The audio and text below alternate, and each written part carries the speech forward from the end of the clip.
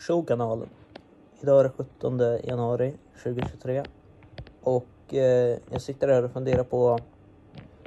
Eh, jag vloggade ju som sagt förra veckan, måndag, tisdag, 9 och 10 januari. Eh, och det var något fel i redigeringen på tisdagens vlogg.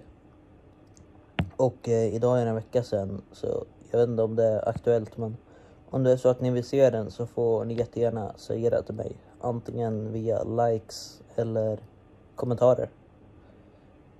Så får vi se om den kommer upp eller inte. Eh, men nu ska jag gå och göra en kopp kaffe. Och eh, kika runt lite på internet, kanske kolla på Youtube. Eh, men till nästa gång så får ni höra världsbäst. Ha det! Tja!